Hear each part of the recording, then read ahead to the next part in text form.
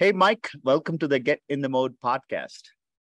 Thanks, David. It's great to be here. Appreciate uh, having this time. I want to talk about sort of, uh, you know, power, authority. Th- those things are getting a bad rap these days, right? Um, tell me, like, how do you view those uh, words? Um, you know, ta- you know, especially coming from that background, your background. I'm curious to hear. Um, you mean like the the words like power, David, or um, you know, just uh, authority? uh, Yeah, those, yeah. those sorts of things.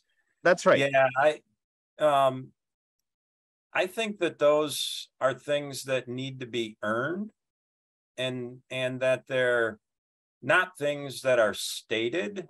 That if you do the right things, you just gain those things based on how the world works and how people work and that if you again going back to if you trust people to do the right thing then you're gaining power and authority without anybody saying it because they're they're trusting that you've got the right plan and you're you've got the best interest of the company and them as you make decisions and through that is where power and authority comes from. It doesn't come through you know a position title or um, uh, by being autocratic in your ways. Um, my experience is you know power and authority comes uh, kind of up through the ranks not from the top down. It, it's really based on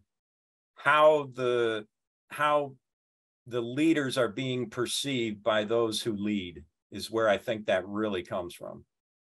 Yeah, it's uh I, I love how you said it's sort of like a byproduct of you know what how you are with the team, right? It's it's almost like you know you demonstrate uh certain respectable you know behaviors and actions and you know things like that the interests that you share uh then you gain respect uh, in that process uh, and, and it doesn't happen overnight um, and it, it- it's over time and then it's like the team is entrusting you with that respect and you know authority that comes from it right so Yep.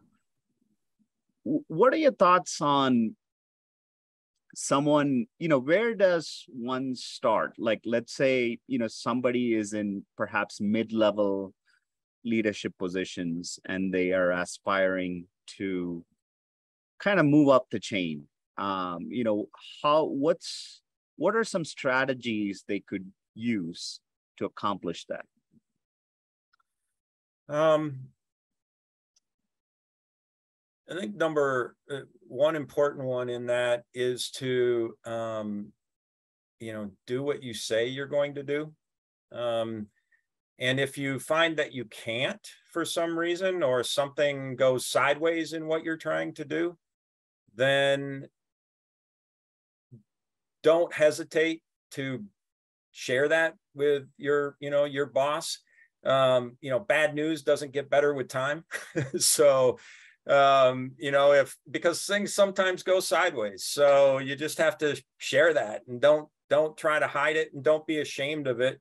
Um, because most of the time, you know, most people who are in that next level of leadership, I'm sure they had things go poorly at some point because everybody does. And they're going to understand what they won't understand is trying to hide it or letting it go on for weeks or months that there's something wrong.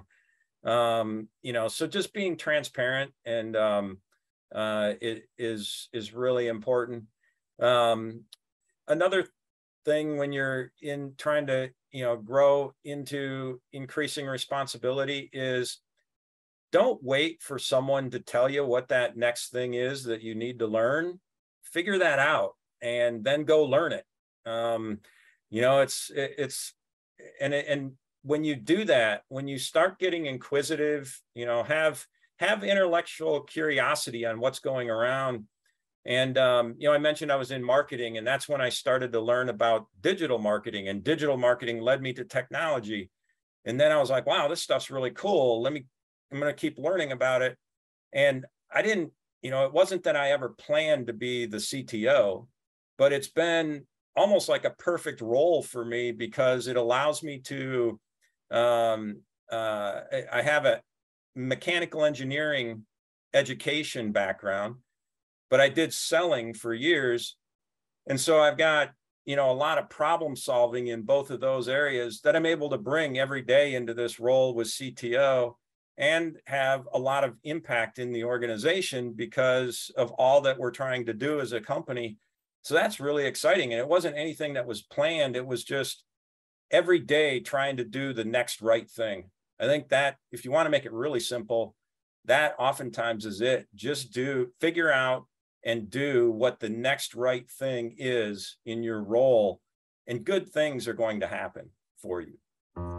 Hello, everyone. Thank you for listening to that clip from the Get in the Mode podcast. To watch the full episode of the podcast, click the link in the show description. Also, consider subscribing to the Get in the Mode YouTube channel to directly see new episodes on your YouTube feed.